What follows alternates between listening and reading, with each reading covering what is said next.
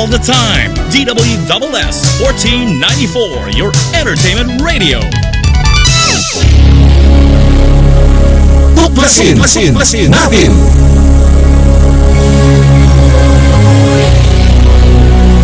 Ang palatuntunan sa radyo na tutuklas ng dapat malaman ng sambayanan. Maninindigan sa katotohanan. Tatalakayin at hihimayin ang mga kaalamang pangkalusugan, siyensya at teknolohiya, agrikultura, ekonomiya, maging mga usaping legal at isyong panlipunang dapat ibahagi, magsisilbing tulay ng mga karaniwang tao upang maiparating sa pamahalaan ang mga mungkahi, hinaing at puso ng bayan. Ipaglalaban ang karapatan ng mamayang Pilipino. Babatikusin ang mga salot sa lipunan. Pupurihin ang mga gumagawa ng kabutihan at naninindigan sa katotohanan. Tuklasin natin, tuklasin natin. Ang tuklasin natin ay handog sa inyo ni Cathy Cruz.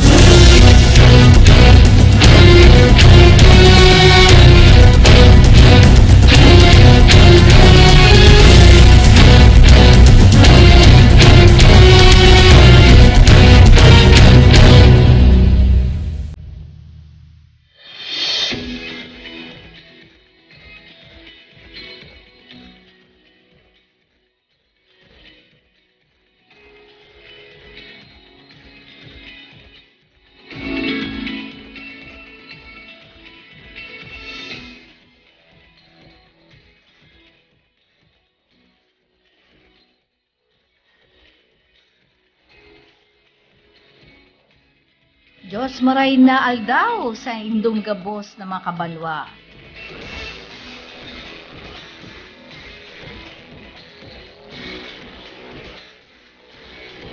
Magandang magandang gabi Pilipinas.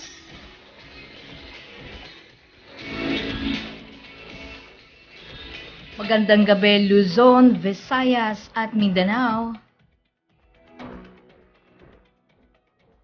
Magandang gabi rin sa lahat ng mga patriotikong Pilipino mula sa iba't ibang panig pa rin ng mundo.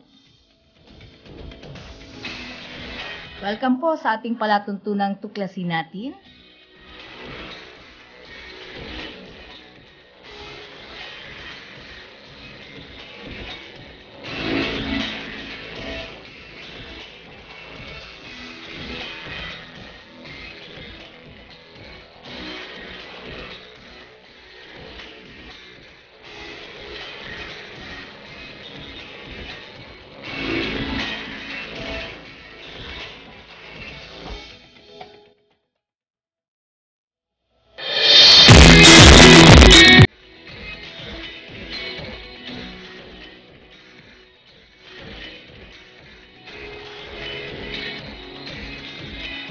Kayo po ay nakikinig sa himpilan pa rin ng DWSS 4094 kHz sa AM band.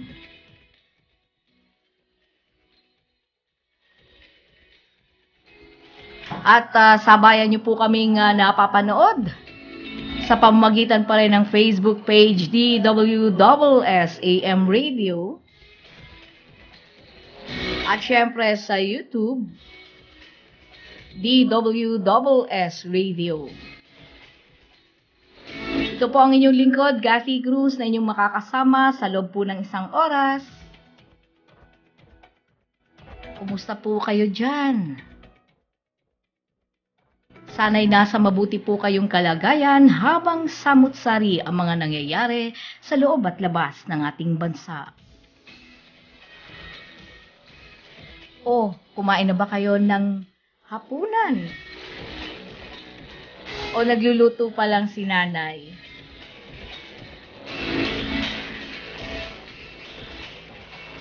Si kuya ba, si ate, tsaka si tatay, naghihintay na ng masarap na ulam. Nako. Naluto ni nanay. Pahingi naman. Joke lang.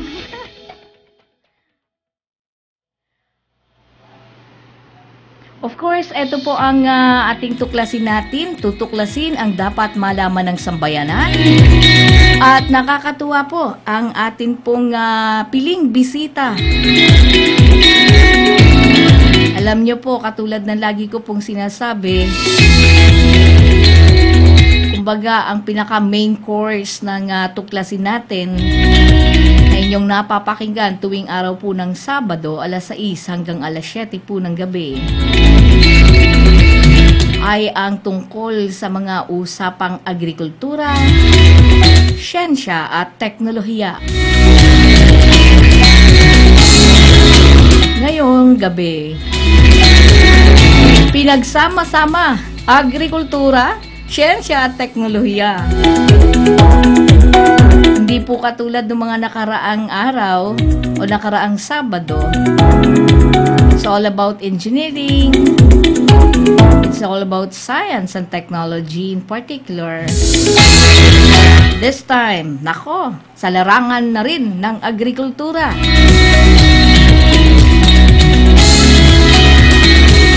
Alam niyo po, itong tao na nandito po ngayon, live na live sa studio, ay walang iba kundi si Dr. Virginia Padilla. Siya po ang ating consultant sa UPLB Biotech. Mamaya aalamin natin sa kanya. Ano ba tong uh, biotech na to? Ano ba tong uh, Picard na to? Ano ba ang uh, ginagawa nito sa ating bansa at sa mamayang Pilipino? Particularly sa ating mga magsasakang Pilipino. Pabatiin na natin. kasi umiinit na. Napapainit ko na sila kasi tagal-tagal ko raw. Pabatiin na natin. Magandang gabi po, Dr. Virginia Padilla. Magandang gabi po naman, Miss Cathy Cruz. Kati na lang po, Cathy, ma- Doktor. ah, paano ko po ba kayo tatawagin? Ah, Doktora Virgie? G. ah, Doc G, yun. Okay. Well, Doc G, no? Um, siguro maganda simulan natin. Ano ba itong DOSTP card? Ah, ang DOSTP card ay, Ay, isa- siguro po ilapit natin yung microphone. Yan. Ilapit niyo po sa inyo. Sila po yung ahensya ng ating gobyerno na in charge po sa paggawa ng mga ng science and technologies.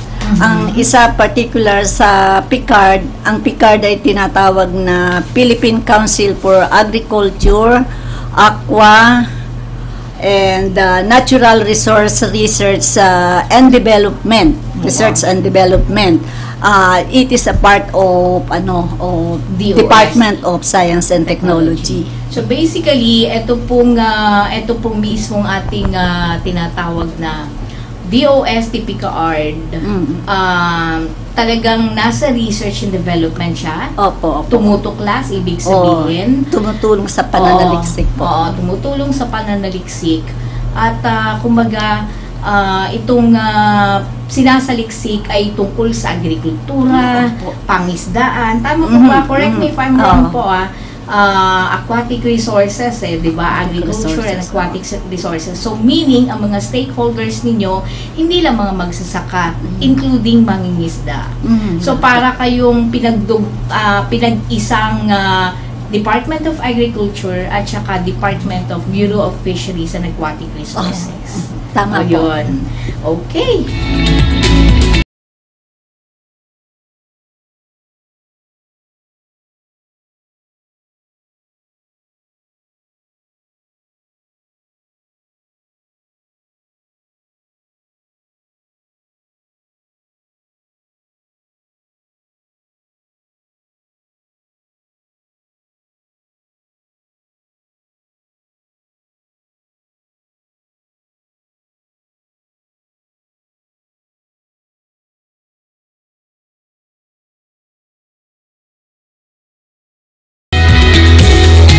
Medyo naiilang kasi ako dun sa ano. Yun, okay na.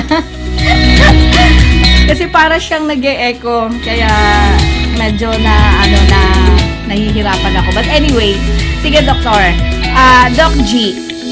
Um, kayo po, sa ilalim ng DOSTP card, ay meron po kayong, ah, kumbaga parang ah, nandoon pumapasok yung ah, institute na kinabibilangan po ninyo, yung UP National Institute of Molecular Biology and Biotechnology at UP Los Baños. So ano ang papel nitong ah, UP Labs, UP Biotech Labs? So, ang UP Biotech, siya po yung implementing agency.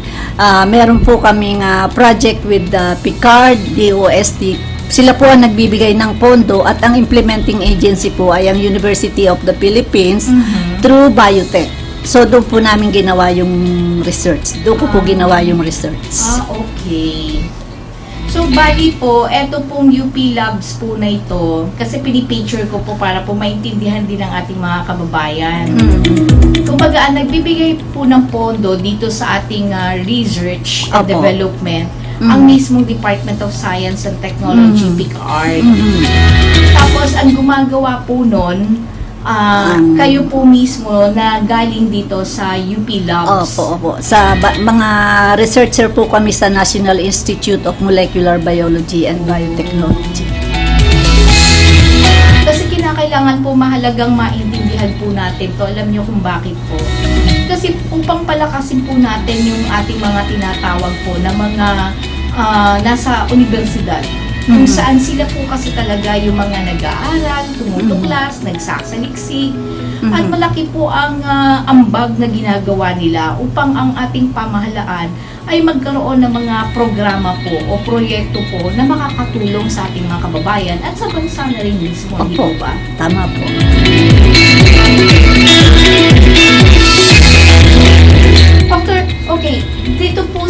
Ating ah, kasalukuyang topic po ngayong gabi, ito pong ah, tinatawag nating Nutrio Biofertilizer for Sugarcane. So, naku, usapang tubo to. usapang tubo. Usapang tubo. Ano po ba ibig sabihin ng Nutrio?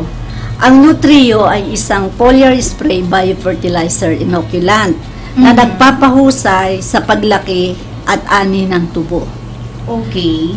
So, bali, para po siyang, ah, the usual, kumbaga, kung iisipin po natin, ito po yung dahilan kung bakit po mabilis na lumalaki yung ating mga tubo. Kasi, yung pong tubo is yung sugar cane na pinanggagalingan po Mm. kasi ng ah, asukal, 'di ba? Tama po ba Opo, ako? tama po. So, kung marami tayo niyan, ma- actually maraming nagagawa sa tubo. Opo, Di ba? maraming Hindi lang product, naman- hindi lang... Oo, hindi lang naman sugar, di ba? Mhm, marami. Mm. Mhm. Ano-ano po ba mga produkto nitong sugar? Ang isa Ay, sa tubo. Isa sa produkto po ng sugar ay ah, ng sugar cane ay asukal. Number Okay, one po yan sa ating one. ano. Mhm. Pwede rin siyang mag-produce ng ah, sugar cane juice. Mhm. Ah, marami siyang byproducts katulad rin na gagamit din po siya sa ano ng ah, biofuels sa Oh. ethanol production. Okay. Yun ang yun ang maraming ah, Yun yung nagaga- pagdating sa industry. Oo, sa industry. Oo, sa industry. At yung mga byproducts pa ng ah, ng mga central na pinap na processing ah, area ng ah, sugarcane, marami din silang napoproduce na iba-iba pang mga Oo, katulad yung ng mga molasses. molasses, Oo, yes, yes. And I remember that. So, kumbaga, kaya po naisip nyo po ito ay dahil mala- malaking industriya rin po ang matutulungan. Mm, opo. Unang-una, ang ating ah, bansa ay ah, ang ah, production ng ah, sugarcane ay yung national average natin ay mababa. Nagre-range lang siya ng 50 to 55 to 60 tons per hectare. Okay. O masyadong mababa, Mababa. mababa 'yun. Oo, Oo, so ang isa pa dahilan ay masyadong mataas ang ating chemical fertilizer, Oo. inorganikong pataba, abono Mm-mm. na ginagamit na masyadong malaki sa sugarcane production. I see. So, kumbaga po, eto pong uh, nutrio na sinasabi ninyo, siya Hmm. ay ah, nasa forma po ng abono upang madali po siyang lumaki. Ang Tama po ba? Oo. Yung ano, madaling lumaki at greeny.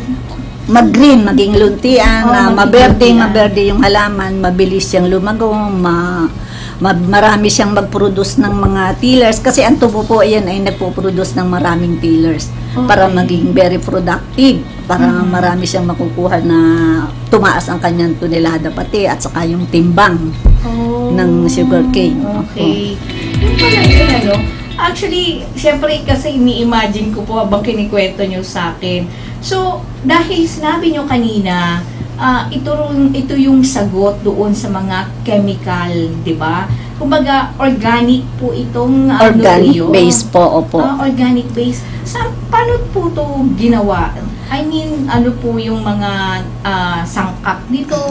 Ito po ay kung ah, ito po ay binubuo ng mga benefic, ah, beneficial microorganism, yung mabubuting microorganismo, Mhm. organismo Mhm. na ito po ay in-isolate ko kinuha sa sugarcane mismo. Ah, parang parang ano lang yan, biti talong. ah, parang di ba yung biti talong ay di ba? Yung, Oo, yung, yung nakakasira sa kanya at pagkain nung peste, yun din yung kinuha po ninyo para pang ano niya. Tama ba ako doon? ah, ano, in-isolate yun, tapos i-minas produce po yun. Tapos yun, ginagamit siya, i ah, ibinobomba siya sa halaman. In Okay. powdered form po itong uh, nutrient na ito. ah, okay. Siya ay ah, siya ay inihahalo sa tubig Mhm. at ibinobomba sa mga dahon at sa lahat ng bahagi ng ah, tubo Mm. para mabilis po ang kanyang paglago at ito po ay inilalagay ah, dalawang beses dalawang buwan pagkatapos itanim Mhm. at ang ikalawang ah, paglagay pagbomba ay apat na buwan pagkatanim So, ibig sabihin, dalawang beses mo siyang i-apply Mm. with uh, corresponding intervals, diba? Da- ano lang, dalawang beses lang po, yun Ah, lang. po. dalawang beses Oo, lang. Oo, Ah, tapos, bali, ano to? Ah, spray form? Sabi nyo kanina, powder. So, Powder, na, parang nasa sachet siya. Opo, opo, nasa sa Oo, po tapos siya. ikakanaw sa tubig. Ikakanaw siya sa tubig, tapos, saka siya i-spray. saka siya i-spray sa halaman. Ah. Para ano po ito? Ito po yung Ayun. ano ng produkto. Patingin nga po. So, eto po yun. Pero ito po ay hindi po nakikita nyo po yan ha. Para akong model. so, ito po yun na kinakanaw po sa tubig. Opo, At pagkatapos, ito po yung ini-spray.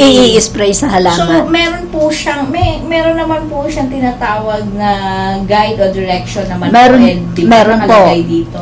Okay. Ah, ma'am, yan pong isang pakete na yan, yan po Mhm. ay 100 grams na powder. okay. So, yan po ay ang kailangan ng sugar cane sa isang hektarya ay Mm-mm. apat na pong pakete.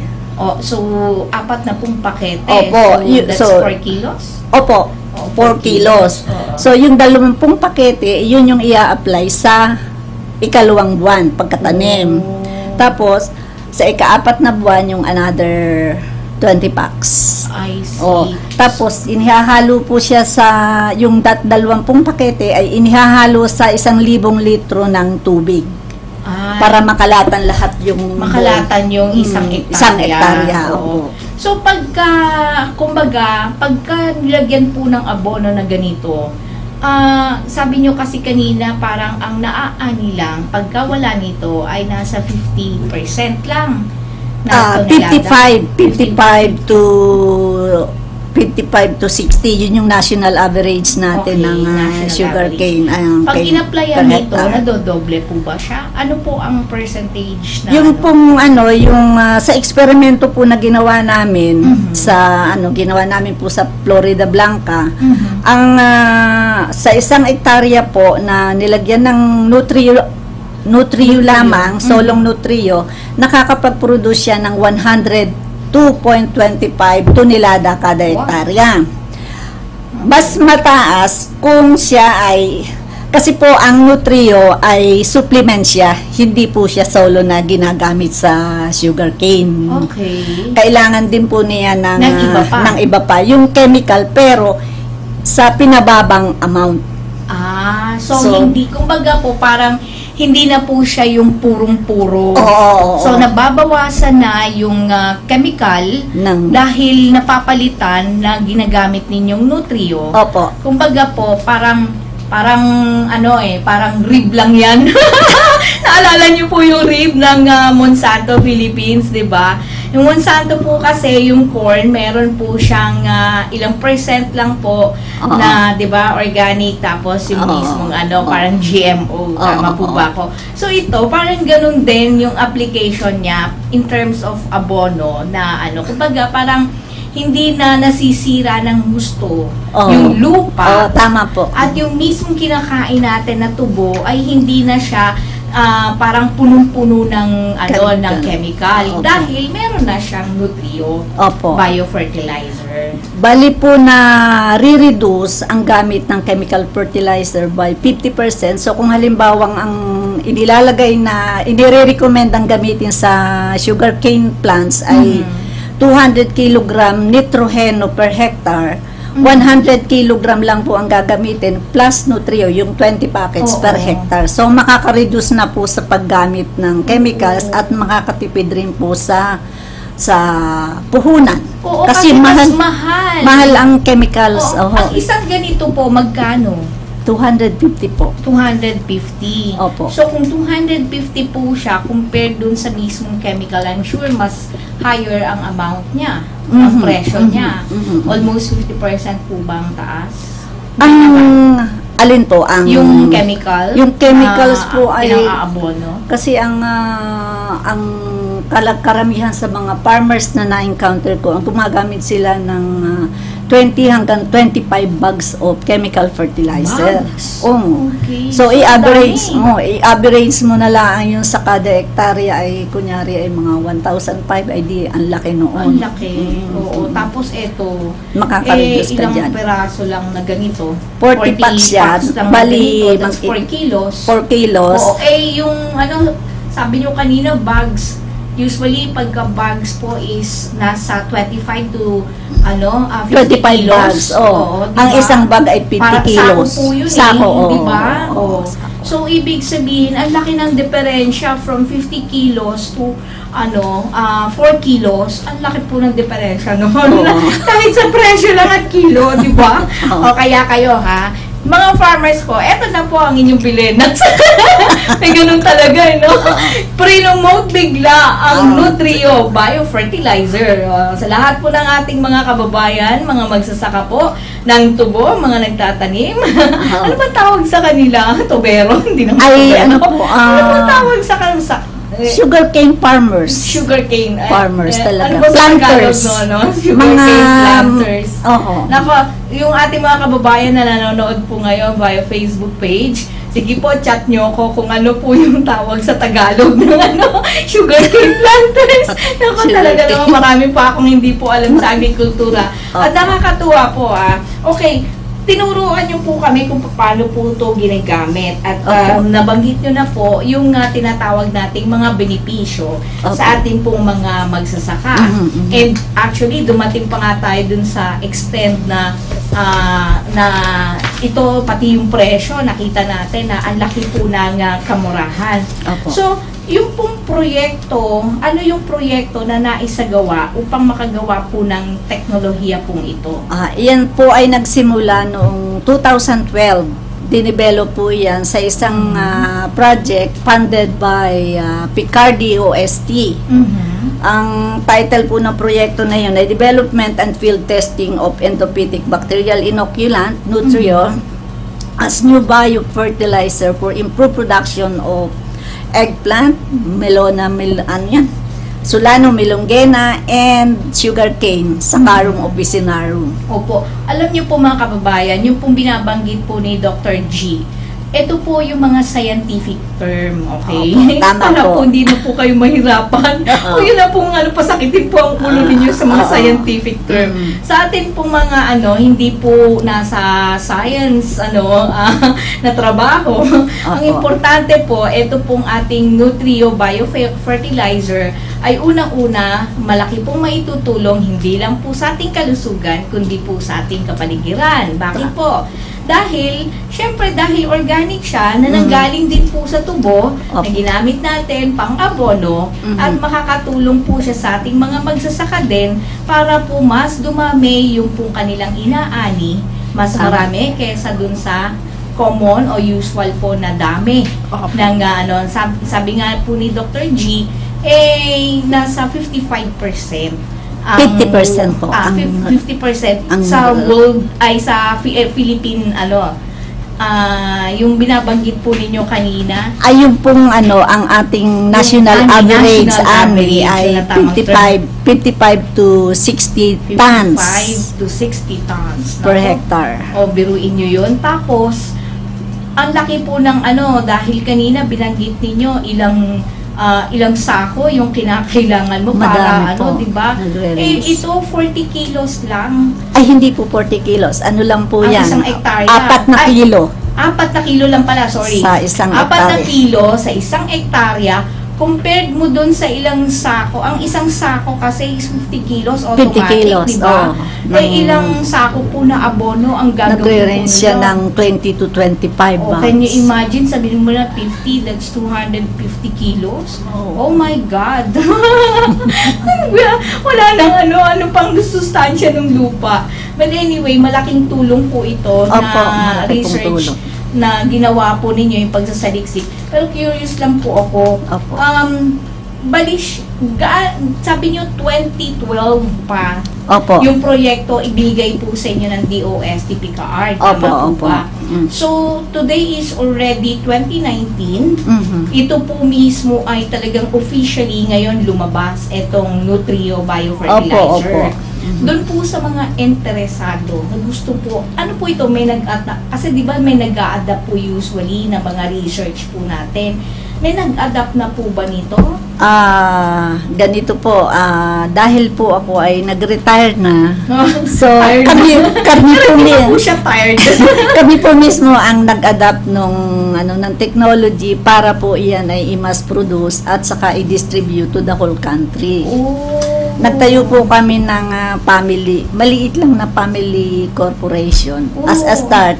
Ang tawag sa DOST po, ito'y programa din po ng DOST Picard, yung tinatawag na spin-off commercialization. Ah. So I was given by the University of the Philippines the license to to produce, produce. mass produce Oo. and to distribute. Actually the technology it is not mine, it is owned by the university. Siyempre, kasi Opo. because of the Mm. national, ano, di Oh, ba? doon Oo. ginawa sa habang Yes. ako'y empleyado pa sa Mm. university. Pero ang maganda po doon, dahil ikaw po yung nagsaliksik, Opo. ikaw rin yung adaptor, more or Oh. less, kumbaga parang ah, ang laking bagay dahil ikaw ang makakaalibawa, knock on wood, magkaroon ng konting problema, Oo. or meron pong mag-copycat. Usually po ganun kasi Oo, yung produkto oo. eh, Mm, di ba? mm. Pero dahil ikaw mismo yung gumawa, ang laki po ng nagagawa ng ikaw mismo. Yes, Dahil yes. kapag ka may nag- hindi ko gawa yan, may kumopya niyan. Kasi 'di ba? Oo. Nakikita niyo po halimbawa po ginaya siya, tapos yung mga content inaral-aral lang. Eh Oo. syempre may procedure po kayo. I understand Yeah, na sa, yeah. sa inyong mga scientists o sa inyong pong mga researchers, meron po kayong ano eh, mga minsan ano timing Oo. hindi tama. lang po yung hindi lang po yung ingredients na Hindi lang. nilalagay po doon. O, Oo. kita nyo? Oo. Scientist na rin ako, joke. Oo.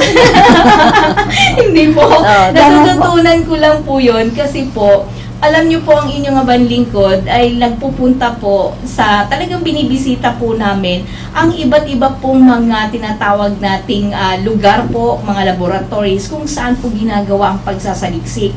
At alam niyo po ba na bago po mapasok ng isang media practitioner yon ay talaga pong maraming protocols. Mm. Meron pong mga bagay na hindi talaga ah, pwedeng pasukin dahil ah, limitado. Pero kumbaga, itinuturo dahil may nakakaharang na salamin, na pinapakita po sa amin na ito yung kanilang ginagawa, yung Mm. proseso po na ginagawa nila. At medyo mahirap scientifically, pero pinipilit po ng ating mga researchers at mga scientists po na ipaliwanag para maintindihan po natin. Mhm. Bakit po yung ginagawa ng DOST? Simple lang po.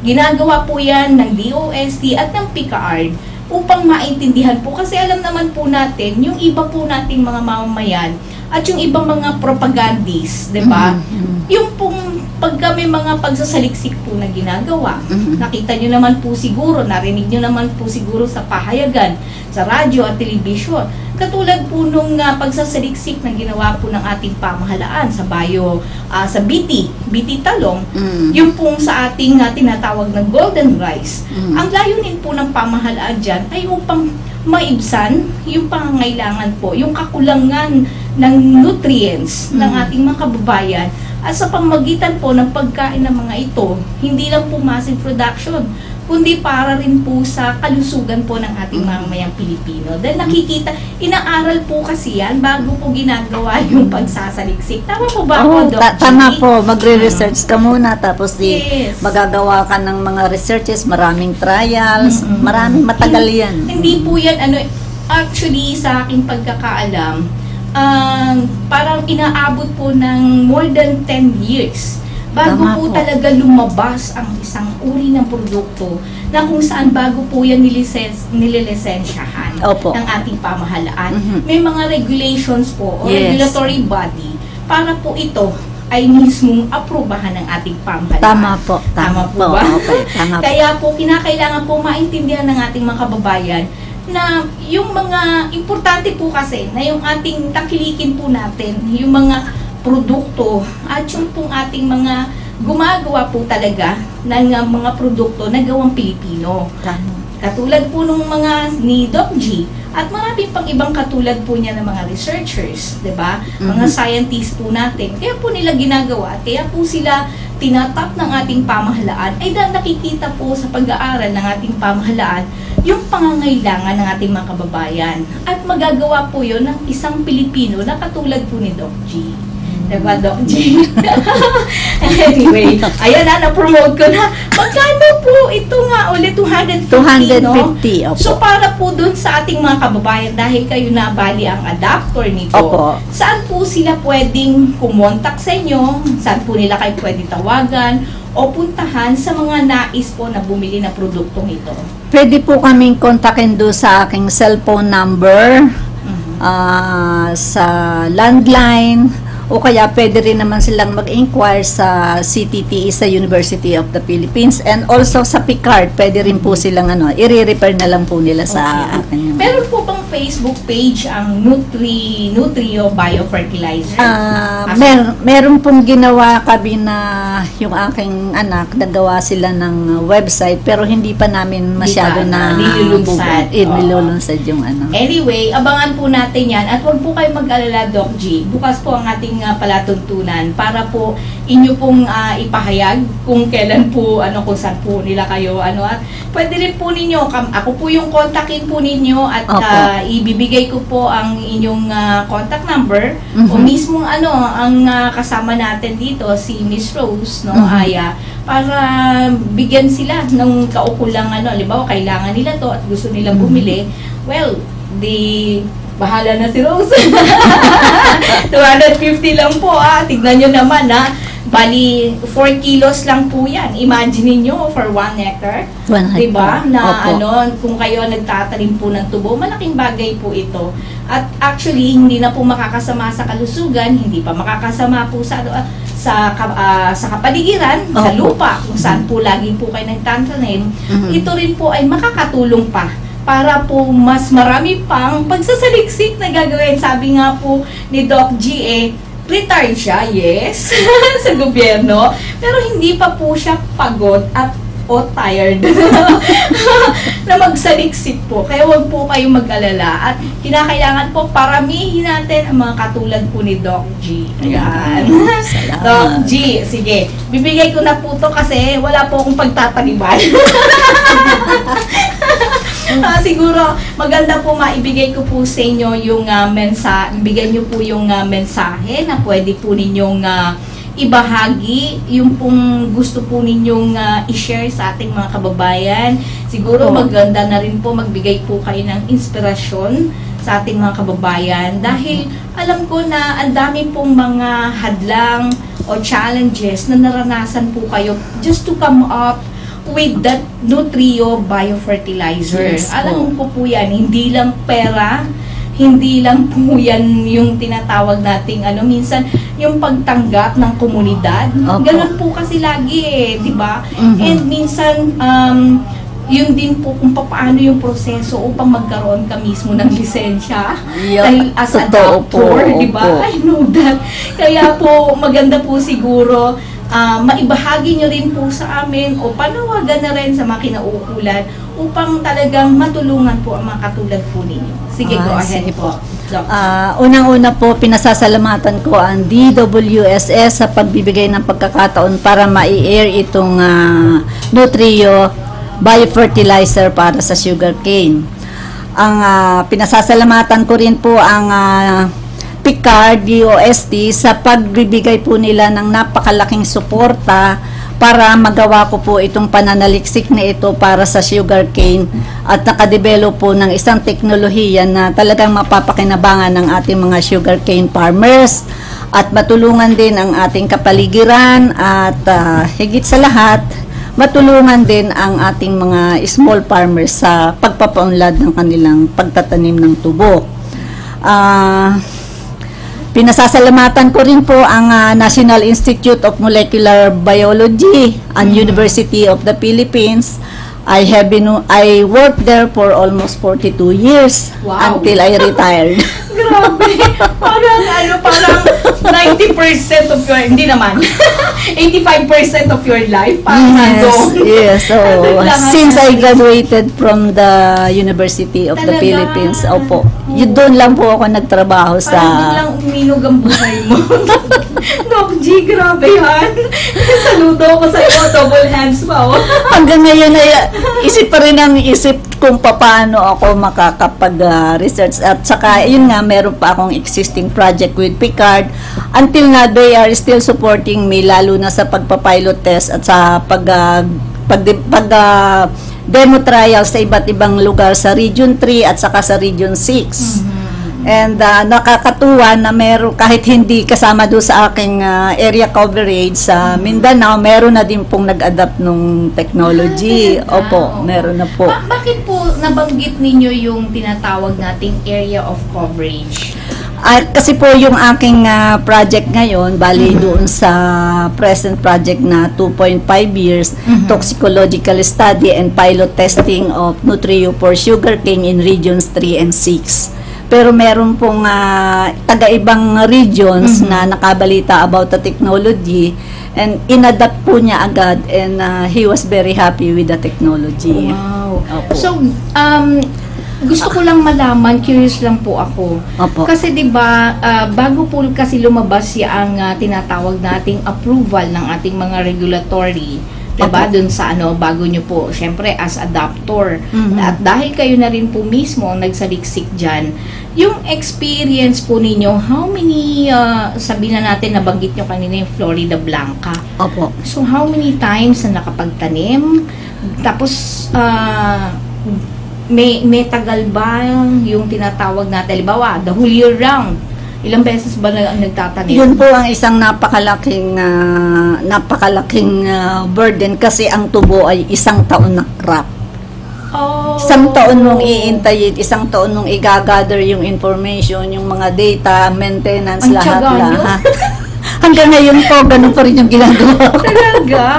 Kasi meron po kami mga demo trials na nakipag-collaborate po ako sa mga sa sa isang sa mga farmers actually meron po kaming collaborator sa sa Tarlac ah, isang congressman at saka yung kanyang anak Mhm. na trying to adapt nag-a-adapt na rin doon sa technology Okay. tapos sa ano sa Region 6 sa sa Iloilo at saka sa Bacolod sa Mhm. Silay Mhm. Maging doon sa Las Castellanas at saka sa Canlaon. Mhm. So meron po kami doon existing na pilot trial at saka yung aming ah, demo trial for sugarcane.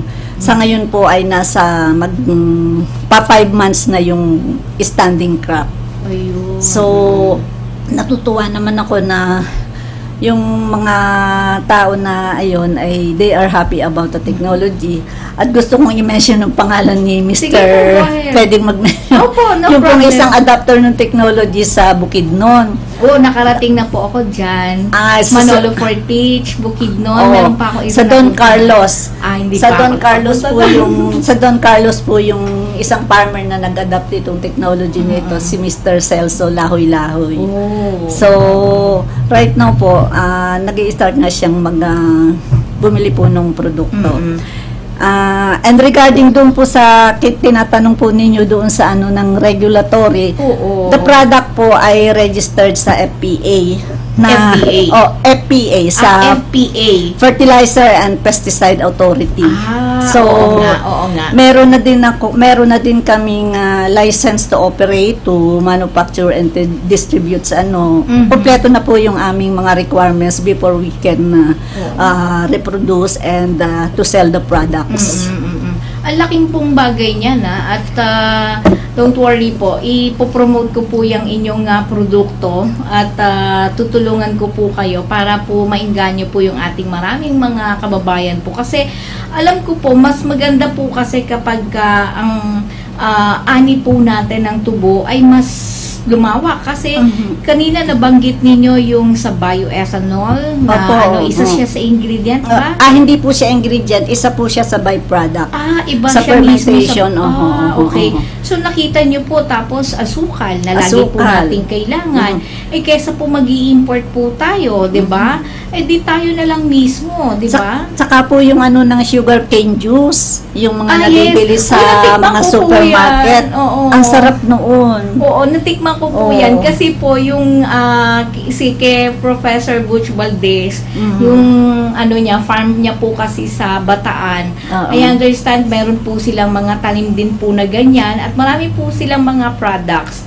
At natitikman ko po yung ano, yung ah, tawag dito sugar cane juice. Juice, oo. Ang sarap po niya. Lalagyan Hindi ng- po siya napakatamis, na, suwabing-swabe po yung ano niya.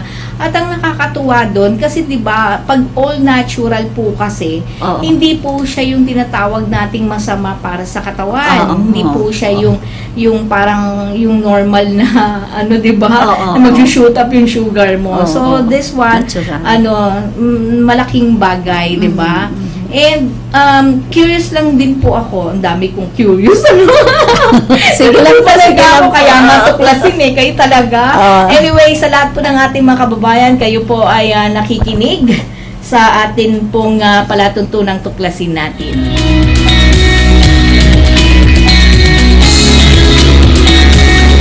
Ganap na pong ah, 6.40 po ng gabi at ah, Philippine Standard Time. Ito po ang inyong lingkod, Gazi Cruz po, ng uh, palatuntunang tuklasin natin. At nandito po tayo, live na live, sa himpilan po ng DWSS 4094 kHz AM band. At live stream, sabayan po tayong napapanood sa pamagitan pa rin ng uh, Facebook page DWSS AM Radio at sa YouTube DWSS Radio. Yan, type nyo lamang po yan. Makikita niyo po nagagandahan dito. Joke. At sa lahat po ng mga interesado po sa ating Nutrio Biofertilizer, ako mag-send lang po kayo ng message sa 0915-2584-091 at ah, ibibigay ko po sa inyo kung paano nyo po makokontakt si, si Dr. G si Dr. Virginia M. Padilla. Siya po ang ah, consultant ng UP LB Biotech.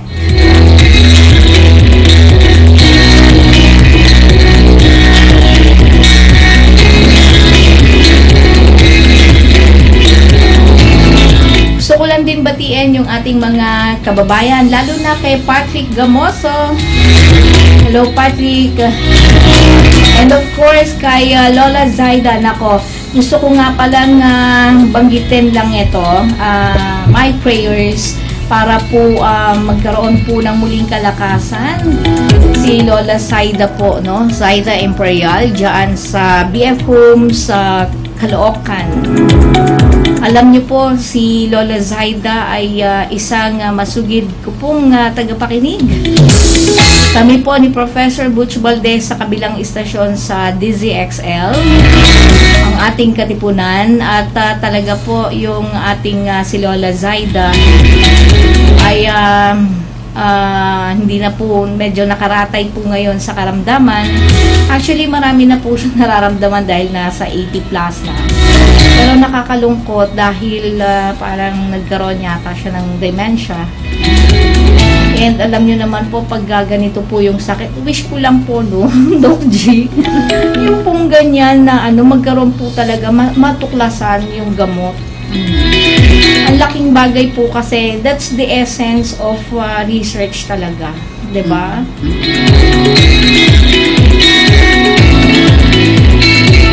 At uh, happy watching nga pala kay sa friendly ko na maganda.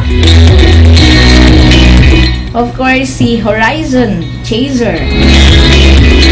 Sa pamilya po ni Narisa Piscos, happy watching. Kay EG. And of course, sa aking kumare from uh, uh, Department of Agrarian Reform, Department of, uh, ah, hindi, Quezon City Local Government, si Edna Ranigo Takadena from Aklan. Pero dyan siya ngayon sa local government, mukhang nag-overtime na naman. And of course, kay paring Levi Mercado. Nako, napakarami nating mga kaibigan. At kay Sir Ed Madrid. Siya po ang ating, ah, nako, ma, talagang masugid na supporter po. May palatuntunan po dito sa DWBL. Mapapakinggan niyo po ang kanyang ah, palatuntunan tuwing araw po ng ah, linggo. 6.30 to 7.30 po. Iron. Inspiring Rotarians on Net. O, di ba? Yung Mga Rotarians naman po yan. Meron pa po siyang ibang mga palatuntunan kaya't abangan po ninyo. At syempre ito po ang inyong lingkod din. Maabangan nyo rin po at ah, sundan nyo po ako sa DZXL tomorrow po. Bukas po ng gabi, si- 7. 7 na o'clock to 9 o'clock po ng gabi. Ako sa dami ng palatuntunan. Ah, asahan nyo po, ah, malay nyo po, hindi po natin masabi. Dahil baka marinig nyo na po ako araw-araw. Serbisyo publiko naman ang aking gagawin. Pero kasabay ng serbisyo publiko, eh syempre magpapatuloy po ang ah, ating ah, tuklasin natin at patuloy po nating ah, aanyayahan ang mga sayantista dahil sila po ang aking napakalapit sa puso. Talagang hindi ko pwede iwaglit sa kahit na anong programa po na aking ilulunsan. With that, siguro, ah, Doc G, maganda po na ah, siguro anyayahan niyo po sa inyong produkto. Bilhin ang inyong Nutrio Biofertilizer at ah, parting message na po. Ah, sa sa pagwawakas po ng programa, gusto ko po sanang i-encourage ang ah, mga magsasaka, lalo na ang mga nagtatanim ng tubo na subukan po nilang gamitin ang Nutrio for their sugarcane production. Ang isa pa po, ito ay ipopromote ko din sa ibang crops pa. Yun. Actually, no, ah, bago ko kayo tuluyang bitawan, Ma'am G, Opo. no, kasi ang dami rin mga, I, I, I'm- I know na napakarami pa rin pong mga kailangan nating i-develop pa. Opo. Why sugarcane?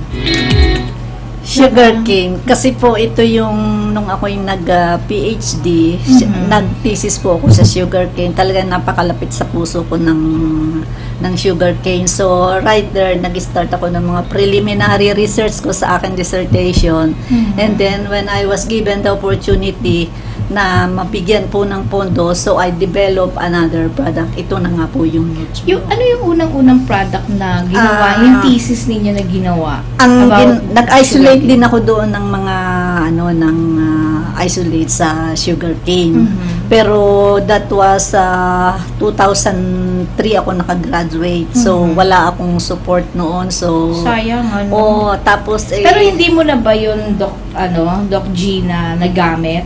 Ngayon na ano? Ah, nag- malay mo. Mm, Diba? malay mo.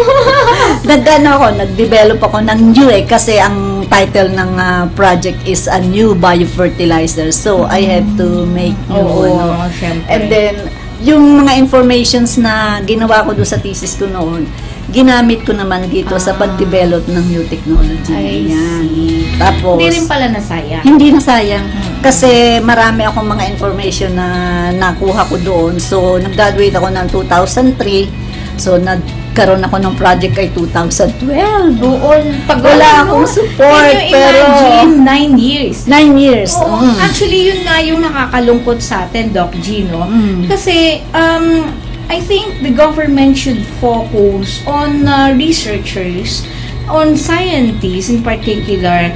Kasi, um, ang laki ng naitutulong nila eh. At Mm. alam ko, I for one, uh, ang dami ko nai-interview po ng mga scientists. Talagang ito yung challenge talaga sa kanila.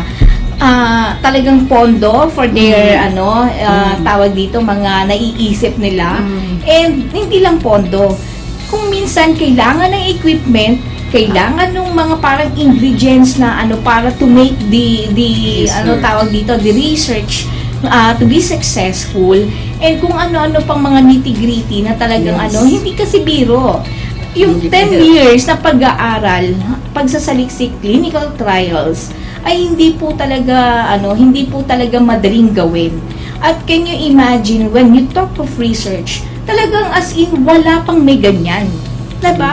Ikaw yung mag, ano eh, mag-i-initiate, ikaw yung mag-iisip from scratch.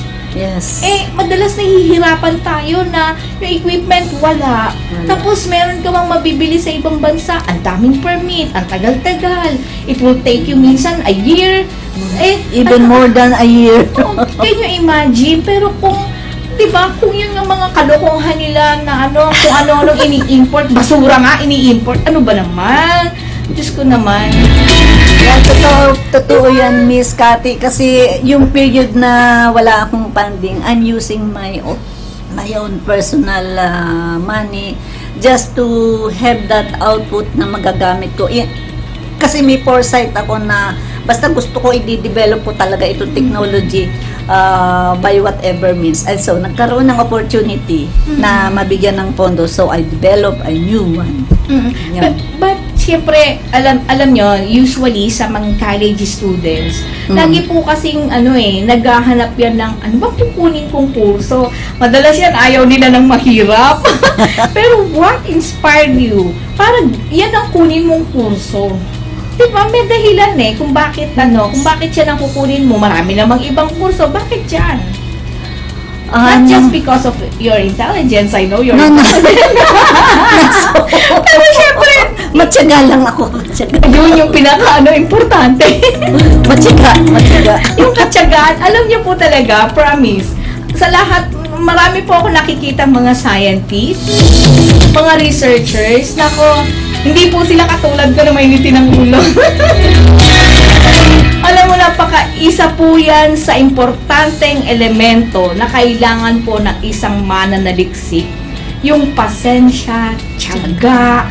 Kasi alam nyo, yung mga microscopic na, Diyos ko, kung makita nyo lang po, sabi ko, minsan, ano eh, pagka nasa mga laboratory ako, pinapasyalan ko sila. Actually, yung PNRI natin, Philippine Nuclear Research, napasok na rin po namin yan. At alam niyo, sa totoo lang, minsan pagka ikaw yung hindi, ano, scientific mind, ano ba namang ginagawa nila rito? Parang naluloka naman ako rito.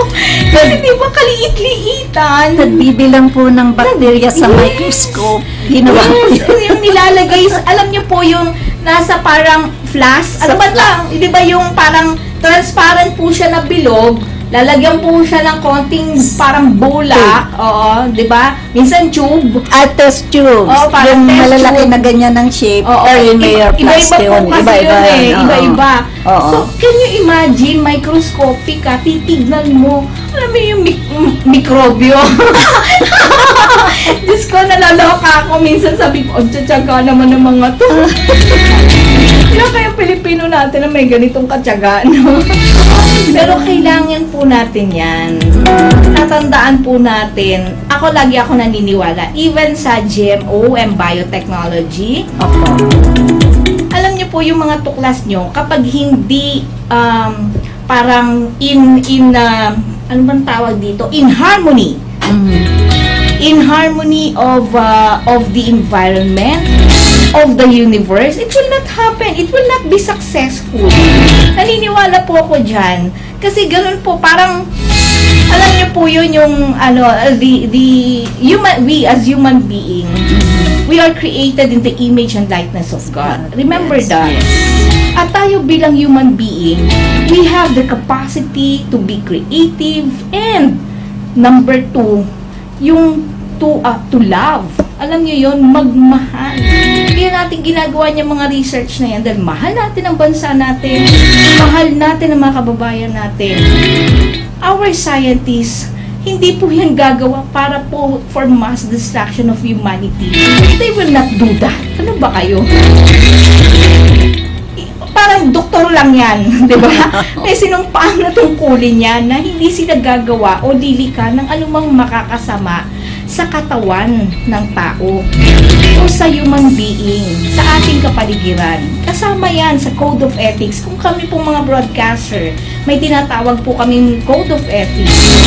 Ganon din naman po itong ating mga scientista, ito pong ating mga researchers. Mga doktor po, may mga Code of Ethics po na tinatawag yan. Pero kapag pumasok na po, ang pagiging mukhang pera. Ay nako, patay na tayo. Kaya idasal po natin yung ating pong mga manaliksik, makaisip po sila na makabubuti para sa sangkatauhan.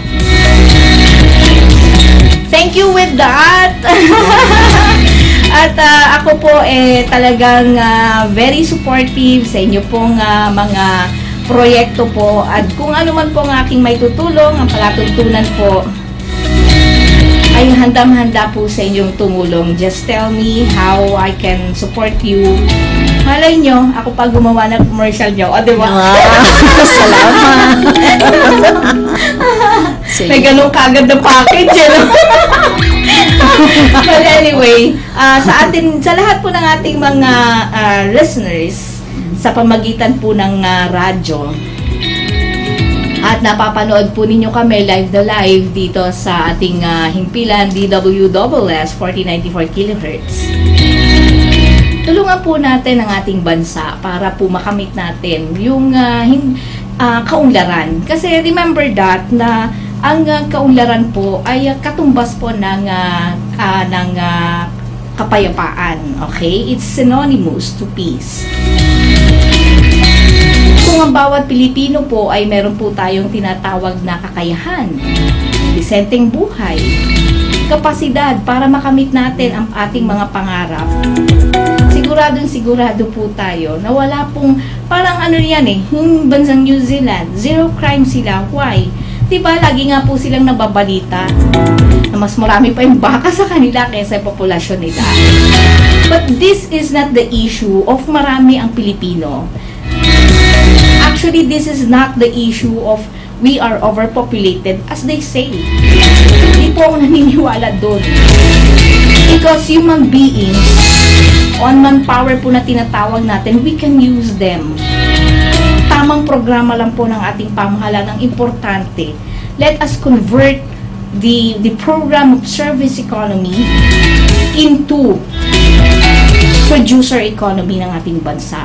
At dahil ikaw mismo, producer economy ka ng ating bayan, we will create professionals.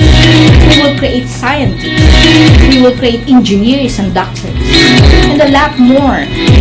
Importante po sila kahit po mga guru natin. Hindi naman po natin na isang tabi ang mga tawag nating mga OFWs na kung saan sila ay mga domestic helpers because they contribute also in our economy. Pero kung mas okay po sana ang kanilang trabaho, wala pong Pilipino na maaabuso, wala pong Pilipino na naghihirap, wala pong Pilipinong mamamatay.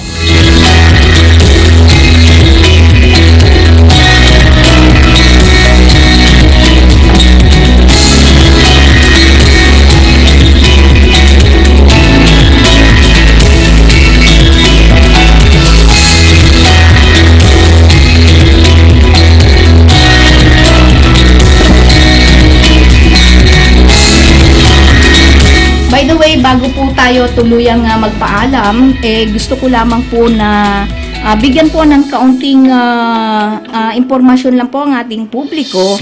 Ah, dahil last week po no ay ah, nagkaroon po ng ah, isang press conference dito sa isang ah, malaking ah, hotel sa Quezon City kung saan po ay ah, inilunsad itong ah, Gawad Kalinga. Actually, matagal na po nila itong ginagawa. Pero ito po ay, ah, ang Gawad Kalinga po ay ah, meron po silang inilunsad na tinatawag po nilang ah, Kusina Kalinga. Alam niyo po, itong ah, Kusina Kalinga ay ah, tinulungan po ah, sa pamagitan po nitong ah, sa partnership po ng ah, Gawad Kalinga at ng ah, Bayer Fund. Of course, nandun po mismo sa nasabing ah, ah, event o press conference, ito pong ah, si Miss Charina Garrido Ocampo. Siya po ay ah, ang ah, corporate communications ng Bayer. Gayon din si Mark Lawrence Cruz ng ah, Gawad Kalinga. Siya po yung ah, Gawad Kalinga ah, project head. At napakarami po, ito po ang konsepto po nito ay ah, sila po ang nagpapakain sa mga school children, sa mga elementary school children po. At ah, ito po ay mga nutrition, ah, full of nutrition na mga pagkain po na kung saan ay inaani din sa mga sarili nilang ano. Kasi ang Gawad Kalinga po, meron din po sila mga proyekto po na parang ah, nagtatanim, nagte-train din po sila ng mga estudyante na mga tawag dito ah, parang agriculture entrepreneur, ganun po. So, malaki pong tulong pagka meron po tayong ganitong proyekto. Ang ah, Monsanto Legacy at ah, na ngayon ay ah, actually naging buyer na po o Bayer ay ah, kumbaga may may matindi po silang ah, pagtutulungan po ng tinatawag nating Gawad Kalinga. Tignan po natin sa susunod na Sabado baka sila po ay ating ah, makapanayam. At ah, muli po, isang minuto na lamang bago mag alas 7 po ng gabi. Ito po ang inyong lingkod, Cathy Cruz, na lagi po sa inyo nagsasabi na lagi po kayong ah, mag-ingat sa lahat po ng ating ginagawa at ah, manindigan po tayo sa katotohanan nang hindi po tuluyang mawasak ang ating lipunan. Cathy Cruz